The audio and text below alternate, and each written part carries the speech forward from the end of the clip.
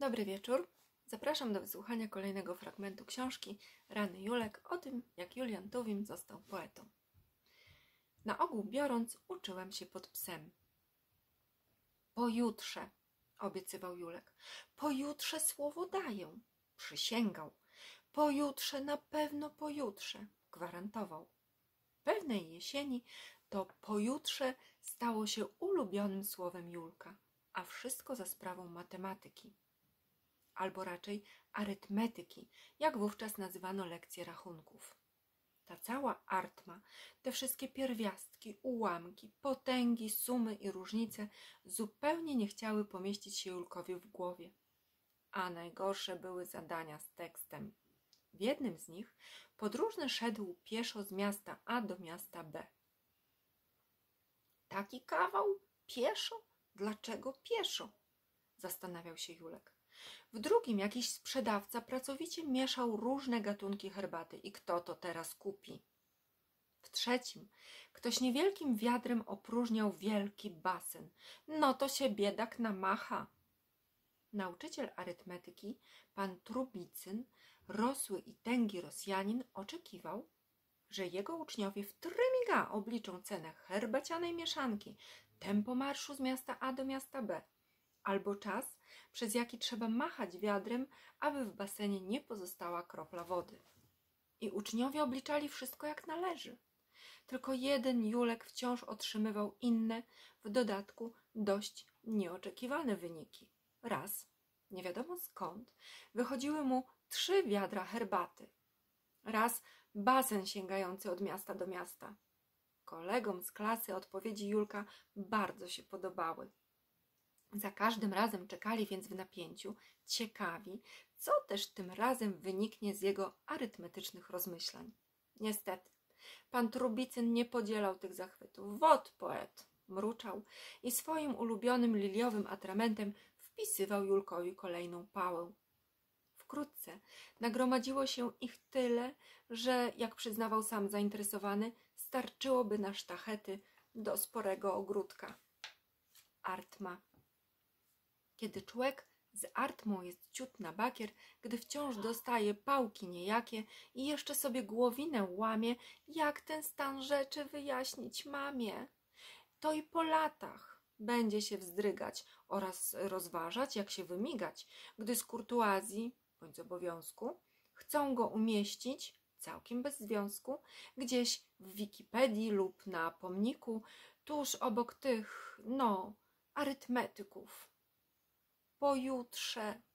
Niezmiennie odpowiadał więc Julek, kiedy rodzice prosili go o pokazanie dzienniczka. Zerkał przy tym z niepokojem w stronę lustra w korytarzu i zaklinał w myślach ukryty tam dowód zbrodni, żeby tylko nie zdecydował się wypaść, żeby tylko nie w tej chwili, żeby. Pani Adela i pan Izydor mieli bowiem ten wielce rozpowszechniony zwyczaj interesowania się postępami wiedzy swych dzieci każdej soboty uważnie studiowali dzienniczek syna i w odpowiednich rubrykach składali staranne podpisy, aż do dnia, kiedy dzienniczek zniknął. Przez pewien czas państwo Tuwimowie dawali się nawet przekonać, że po prostu został w szkole i pojutrze, oczywiście, że pojutrze, wróci do domu. Ale kiedy pojutrze znów usłyszeli pojutrze i po kolejnych dwóch dniach także, zaczęli się niecierpliwić. O dzienniczek i złożone w nim podpisy rodziców coraz e, częściej dopytywali także nauczyciele, zwłaszcza pan Trubicyn. Wtedy Julek zrozumiał. Ani rodzice, ani nauczyciele nie dadzą się dłużej zwodzić jego uparcie powtarzanej wymówce. Trzeba było spojrzeć prawdzie w oczy. Pojutrze przestało działać. Julek zrozumiał, że musi znaleźć inne rozwiązanie problemu Artmy i znalazł. Myślałem, że wyprawa skończy się w Ameryce. Dzień dobry. Poproszę pół biletu trzeciej klasy do Ameryki. Dokąd? O nie miała pani w kasie. No tak, zdaje się, że z dworca Łódź Kaliska jak na razie nie odchodził żaden pociąg transkontynentalny. Yy, zreflektował się chłopiec. To może chociaż do Sieradza? Ale i z tym był kłopot, bo choć kasjerka wręczyła Julkowi bilet, o jaki prosił, to dorzuciła ponuro. Jedenaście kopiejek. Julek przeliczył pieniądze ściskane w ręku, pogrzebał po kieszeniach, znów przeliczył. Nawet jego niezbyt głęboka znajomość arytmetyki wystarczyła, by stwierdzić z całą pewnością. Kopiejek było zaledwie osiem i ani jednej więcej. Odszedł od kasy, odprowadzany poburkiwaniami kasjerki i usiadł w dworcowej poczekalni. Co teraz myślał? Do domu wrócić nie mogę, to pewne. W dzienniczku aż się roi od pałek. Trubicyn grozi kolejną klasówką. Nie uniknę katastrofy. Zresztą mama już na pewno przeczytała wiadomość. Miał rację. W tym samym mniej więcej czasie, kiedy Julek stanął przed kasą i poprosił o bilet do Ameryki, pani Adela znalazła na kredensie kartkę wyrwaną z zeszytu w kratkę. Szybko przebiegła wzrokiem zapisane tam jedno, jedyne zdanie. Nie jestem godzien być waszym synem. Odchodzę i proszę mnie nie szukać. I załamała ręce. Nieszczęście! zawołała w pośpiechu, narzucając płaszcz i popędziła szukać syna. Najpierw pobiegła do gimnazjum, a kiedy się okazało, że chłopca tego dnia w ogóle w szkole nie było, ruszyła w stronę dworca. W tym czasie Julek siedział w dworcowej poczekalni, snuł smętne rozmyślania i przytrząsał raniec, czyli tornister, w poszukiwaniu jakiejś zabłąkanej kopiejki. Kopiejki nie znalazł, ale śniadanie! zawołał nagle olśniony. Zamienił słówko z odpoczywającym tuż obok tragarzem i wkrótce biegł już z powrotem do kasy z ośmioma kopiejkami w jednej dłoni i z trzema, za które sprzedał tragarzowi swoje szkolne śniadanie. Po kilku chwilach, z upragnionym biletem w kieszeni, wspinał się po schodkach pociągu, a potem para, buch, koła w ruch. Na pewno Biega po łodzi pani Adela i wymachuje zdjęciem z portfela. Widział pan chłopca? Zniknął gagatek, płaszczyk, tornister, berecik w kratę. A był tu, owszem, tragarz jej sapie. Zerka na zdjęcie, w szczękę się drapie. Ten sam, na pewno. Ręczy pan słowem, ba, dałbym za to nawet i głowę. Stał tam. Przy kasie? Ano, faktycznie. Stał i i liczył coś energicznie. Mój syn coś liczył? I to zawzięcie. Pan przekonany jest o tym? Święcie. Więc, wyszeptała zmieniając ton, więc to na pewno nie mógł być on. Kiedy pani Tuwimowa, wymachując zmiętą kartką, wbiegła na dworzec i zaczęła rozpytywać wszystkich o zaginionego syna, on był już w drodze do Sieradza. W Sieradzu mieszkała ulubiona ciocia Julka, Rozalia i jej ośmiu synów. Julian czuł się wprawdzie odrobinę zawiedziony takim obrotem sprawy. Cóż, wiadomo, Sieradz to nie Ameryka. Ale uznał, że to i tak lepsze niż łódź i bura, jaka czekała na niego na ulicy Andrzeja. Łatwo sobie wyobrazić, jakie zdumienie w domu cioci Rozali wywołała niespodziewana wizyta Julka. Skąd? Co? Jak? Zasypywano go pytaniami. Julek nie miał wyjścia. Musiał zdradzić rodzinie okoliczności swych nagłych odwiedzin. Wysłuchano go uważnie i jeszcze tego samego dnia z Sieradza do Łodzi wysłano depeszę, a w ślad za nią pierwszym porannym pociągiem Julka. To oczywiście nie był koniec potyczek Tuwima z rachunkami. Tego feralnego roku zdał do następnej klasy, choć ku rozpaczy rodziców nie obyło się bez poprawki z Artmy.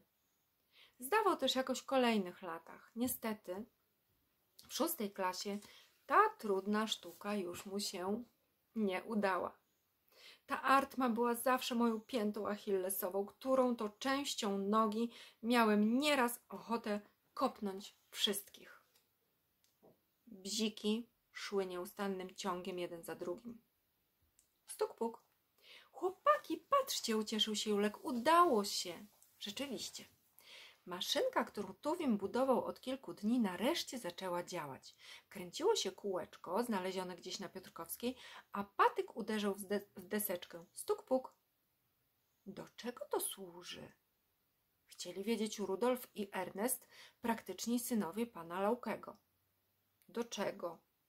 A do czego służą wszystkie bziki? Do niczego oczywiście. I na tym właśnie polega ich urok. Te bziki, jak później wspominał Tuwim, szły nieustannym ciągiem, jeden za drugim. A każdemu poeta poświęcał się z ogromną pasją. Maszynki zaczął budować zaraz po sławnym wybuchu, kiedy tylko zdjęto mu bandaż z poparzonej ręki. Zbierał pudełka, śrubki i deseczki, znosił skądś druciki, gumki i sznureczki, a potem, bez żadnego planu oczywiście, budował z tych znalezisk fascynujące, bo całkiem niepraktyczne maszynki. Wkrótce Julek porzucił zabawy w konstruktora, maszynek ze, ze znalezinek i zajął się magią. Zawsze interesowało go to, co tajemnicze, niewytłumaczalne, magiczne. Kiedyś, już jako gimnazjalista, spędził Boże Narodzenie u krewnych w Warszawie. Pojechał tam sam. Rodzice i siostra zostali w Łodzi. Irenka tęskniła za bratem przeogromnie. Wiele dni przepłakała skulona w kącie za, za potężną szafą, zdobioną rzędami zagadkowo uśmiechniętych płaskomord z obrożami w pyskach. A kiedy Julek wreszcie wrócił, szalała z radości. Miała znów przy sobie ukochanego brata, a w dodatku to czary, zachwycała się, kiedy Julek wyjmował jeden po drugim prezenty, jakie dla niej przywiózł. Czego tam nie było? Maleńka baletnica, która delikatnie unosiła ręce i nogi, kiedy się podgrzało w dłoni. Patyczki, podobne do zapałek, które po wrzuceniu do miski z wodą przemieniały się w kolorowe kwiaty. Widokówki, które ożywały w ciemności.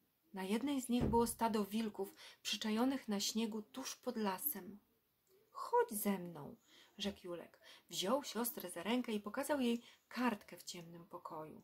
A wtedy oczy każdego z wilków zaczęły groźnie błyskać. Kilkuletnia Irenka nie miała wątpliwości. Jej brat, który owijał sobie węże wokół szyi i potrafił się dogadać z wilkami, musiał być czarodziejem. Ale Julek wiedział, że przedmioty, które kupił w Warszawie, w maleńkim sklepiku przy ulicy Chmielnej 40, to tylko zabawki. Działały, bo tak sobie zaplanował jakiś producent. A on marzył o prawdziwej magii. Zbierał więc buteleczki z kolorowymi płynami do specjalnego plecionego koszyczka, wrzucał przedziwne kamyki, kolorowe szkiełka, koraliki, muszelki i jeszcze wiele innych przedmiotów, które podejrzewał o właściwości magiczne. A potem, potem czekał, aż zaczną dziać się cuda. I cuda się działy. Bo wiadomo, że nawet najzwyklejsze szare kamienie w magicznym świetle dziecię- dziecinnej fantazji bez trudu stawały się klejnotami i amuletami. Dziękuję.